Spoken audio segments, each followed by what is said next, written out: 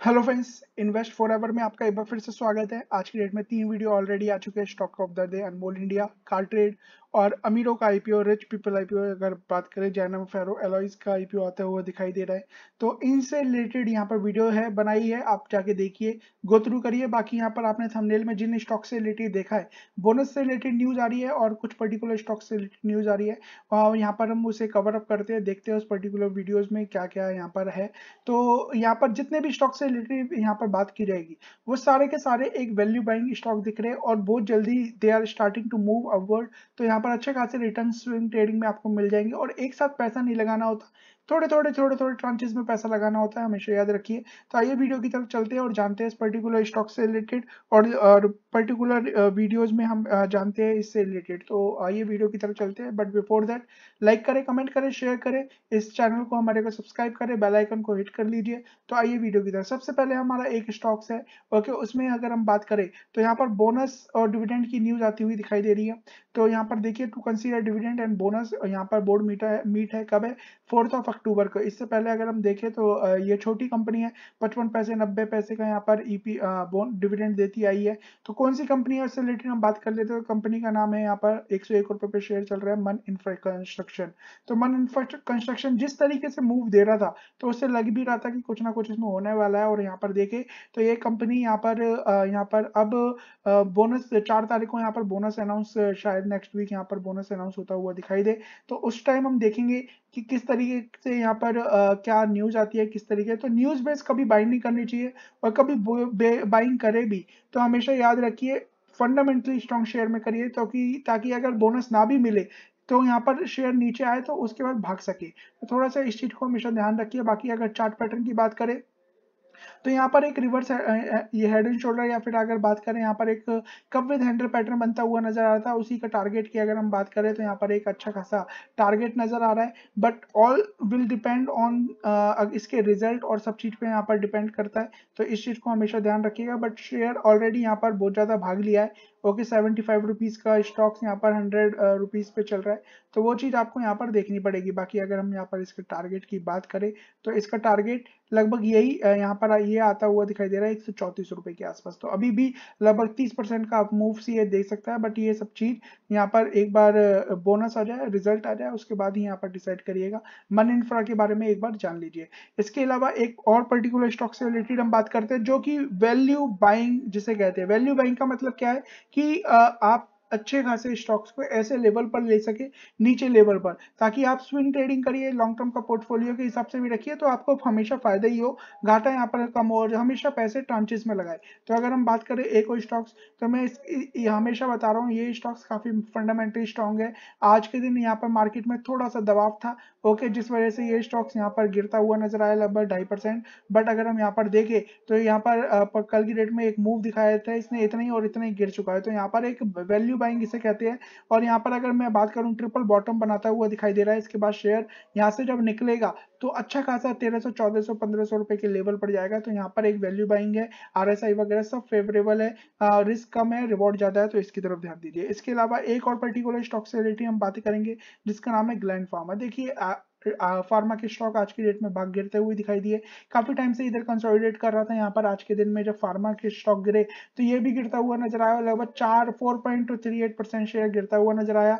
और मुझे लगता है थोड़ा सा और शेयर ये गिर सकता है, और ये शेयर ना यहाँ पर यहाँ पर आके सपोर्ट ले सकता है, लगभग पैंतीस सौ रुपए के आसपास, जो कि इसके यहाँ पर है। पहले भी यहाँ पर इसने, यहाँ पर एक सपोर्ट हो गया, फिर इससे आसपास ही सपोर्ट लेता हुआ नज़र आएगा, और इसके बाद ये शेयर घूमता हुआ नज़र आएगा। आर एस के आसपास आ जाए ना तब यहाँ पर एक दोबारा आपको पैसा लगाने की एक अच्छी खासी अपॉर्चुनिटी हो जाएगी।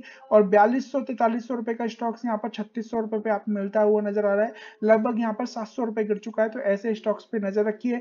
वैल्यू बाइंग कहते हैं, यहाँ पर देखिए हायर टॉप हायर लोअर बनाते हुए नज़र आ रहा है। यहाँ पर फिफ्टी डीएमए को नीचे आ गया शेयर कभी भी भाग के अच्छा खासा रिटर्न दे सकता है। इसके अलावा एक और शेयर जो यहाँ पर अगर हम बात करें डिविस लेबोरेटरी, ये भी शेयर देखिए काफ़ी फंडामेंटली स्ट्रॉन्ग शेयर है। और जिस तरीके से इसने यहाँ पर से एक रैली बनाते हुए नज़र आया था, बत्तीस सौ से सीधे यहाँ पर तिरपन सौ रुपए तक, बावन सौ रुपए तक जाता हुआ दिखाई दिया था, साढ़े बावन सौ। तो आज की डेट में लगभग ये भी शेयर अगर हम बात करें, छह सौ, सात सौ रुपए गिर चुका है। थोड़ा सा और यहाँ पर शायद रिट्रेस कर सके और यहाँ पर एक सपोर्ट लिया इसने। पहले यहाँ सपोर्ट था, यहाँ सपोर्ट और फिफ्टी डीएमए के नीचे आ गया तो शायद थोड़ा सा और गिरे और यहाँ पर एक अपॉर्चुनिटी आपको मिले। तो यहाँ पर इस शेयर को ग्रैप करना, थोड़ा टाइम देना, थोड़े टाइम देने के बाद तीन से छह महीने के अंदर अंदर दोबारा ये इस लेवल को भी शायद क्रॉस करके अच्छा खासा रिटर्न दे दे। तो डिविस लैब की तरफ़ ध्यान दीजिए। इसके अलावा एक और शेयर जो कि मैं आपको, हर बार आपको बताता हुआ नज़र आ रहा हूँ क्योंकि यहाँ पर मुझे वैल्यू बाइंग नज़र आ रही है। जिस तरीके से ऑयल और गैस के प्राइजेस बढ़ते हुए नज़र आ रहे हैं, यहाँ पर डिमांड नज़र आ रही है। उस तरीके से अगर बात करें तो यहाँ पर देखिए कंसोलिडेशन एज वेल एज दो यहाँ पर ग्रीन कैंडल बनाना शुरू कर दिया है इसने। अच्छा खासा सत्ताईस परसेंट यहाँ पर रिट्रेस हो चुका है, नीचे गिर चुका है। यहाँ से शेयर देखिए 50 डीएमए और 200 डीएमए के बीच में झूल रहा है। तो ये शेयर कभी भी यहाँ पर ऊपर की तरफ़ जा सकता है और यहाँ पर सबसे पहले टारगेट 27 परसेंट, उसके बाद और भी यहाँ पर अच्छा खासा रिटर्न दे सकता है। तो इस शेयर की तरफ़ ध्यान दीजिए। इसके अलावा इसी का एक और पर्टिकुलर कंपनी इसका पीआर कंपनी की बात करें तो आईजीएल आईजीएल तो टू डीएमए के यहाँ पर नीचे चल रही है और टू डीएमए के नीचे चलना और ऐसे बेहतरीन फंडामेंटली डेट फ्री स्टॉक्स को शोभा ही नहीं देता। और यहाँ पर अगर ये शेयर यहाँ पर चल रहा है तो यहाँ पर एक अच्छी अपॉर्चुनिटी है, तैतीस का RSI है और यहाँ पर इस, यहाँ पर देखिए ट्रिपल बॉटम बनता हुआ नज़र आ रहा है। इस बार जब ये शेयर यहाँ से बाहर निकलेगा तो यहाँ पर अच्छे खासे रिटर्न देता हुआ नज़र आएगा। इस बार ये 600 के लेवल को भी क्रॉस करता हुआ नज़र आएगा और बेहतरीन रिटर्न देगा। थोड़ा सा टाइम देना इसे। ये अपने टारगेट को यहाँ पर देखिए सौ रुपए का टारगेट तो यहाँ पर पूरा है ही है, और भी ज़्यादा भागता हुआ नज़र आएगा। तो आईजीएल की तरफ़, इसके अलावा हम बात करें एक और पर्टिकुलर स्टॉक से रिलेटेड तो वो है लॉर्स लैब लॉरेंस लैब की अगर मैं बात करूँ तो देखें, यहाँ पर सेम यहाँ पर कल भी इसी जगह रुका था, आज भी इसी जगह रुका है। मार्केट में जितने भी शेयर थे ओके फार्मा के गिरते हुए नज़र आए, ये शेयर ऑलरेडी गिर चुका था तो यहाँ पर गिरने का कोई सवाल ही नहीं था।